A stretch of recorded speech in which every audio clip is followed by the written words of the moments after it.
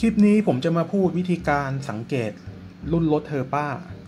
สำหรับรถเทอร์ป้าเนี่ยถ้าเราซื้อมานะครับ ถ้าเกิดเราซื้อเป็นของมือหนึ่งก็อาจจะไม่ต้องไปตรวจสอบอะไรมากนะสำหรับในกรณีผมเนี่ยส่วนมากของที่ผมสั่งมาจากเว็บ eBay นะครับ ก็จะเป็นของ second hand หรือว่าของมือสองนั่นเองนะ เพราะว่าเนื่องจากด้วยราคาที่มันต่ำกว่าคราวนี้เนี่ยพอราคามันต่ำกว่าเนี่ยมันก็อาจจะมี อะไรบางอย่างนะครับ ให้เราได้ตรวจสอบกันนะเมื่อรถมาถึงเราแล้วสำหรับวิธีการที่ผมจะพูดต่อจากนี้ไปเนี่ยไม่จำเป็นที่จะต้องเป็นรถโมเดลที่มาจาก eBay นะอาจจะเป็นรถที่มาจากการซื้อขายกันภายในกลุ่ม HO ก็ได้นะครับ วิธีการผมใช้งานได้หมด วิธีการแรกก็คือ ให้เราดูนะที่กล่องเฮอร์ป้า ถ้าเกิดเราสังเกตด้านกล่องไหมครับ ตรงนี้จะมี serial number serial number serial number วิธีการดู ให้ดูเลข 6 หลัก 6 หลักตรงนี้นะครับ อย่างของคันนี้ 6 หลัก 6 หลักอันนี้นะ ตรงนี้นะครับ 308 038 Man TGX XXL SC วิธีการเช็คของผมก็คือเช็คยังไง เราเข้าไปที่หน้าเว็บ eBay ครับ เข้าไปหน้าเว็บ eBay เลยนะเราก็ไปพิมพ์ที่ช่อง select ครับช่องค้นหานะ เราก็พิมพ์คำว่า herpa แล้วก็ตามด้วยรหัสเมื่อกี้ herpa 308038เรากด enter ไปเลยครับ พอกดไปปั๊บก็จะขึ้นรายการที่โชว์ขึ้นมานะ ก็จะโชว์รูปภาพ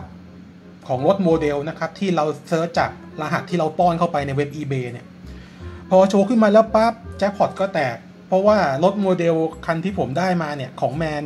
รุ่นนี้นะครับ รูปที่เว็บ eBay โชว์เนี่ย มันเป็นรูปรถของลายบริษัท Schenker นะ แล้วก็ตัวหางเทรลเลอร์เนี่ย มันก็ลักษณะคล้ายๆ กันเป็นหาง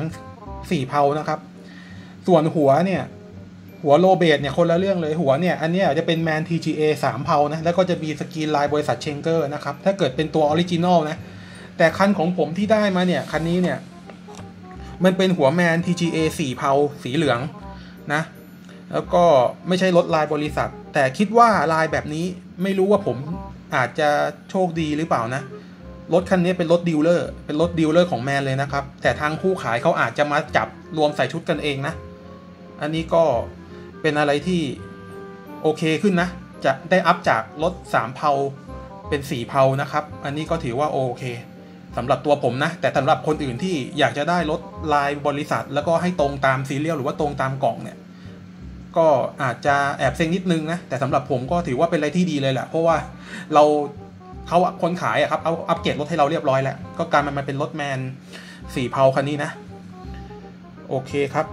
สำหรับกล่องต่อมาที่ผมจะแนะนำอันนี้จะเป็นรถ a c t o r MP3 นะ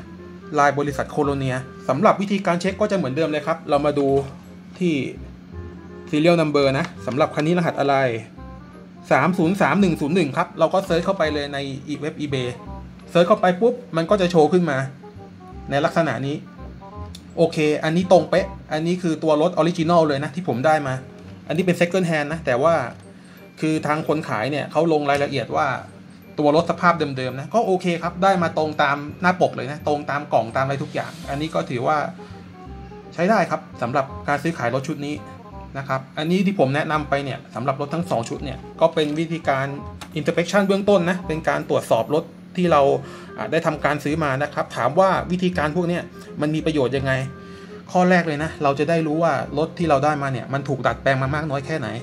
ข้อที่ 2 เลยก็คือนะครับเป็นการรีเช็คนะว่า ตัวรถเนี่ยสภาพที่แท้จริงของเขาอะสภาพสมบูรณ์ที่ออกมาจากโรงงานเทอร์ป้าเนี่ยมันเป็นสภาพไหนนะครับ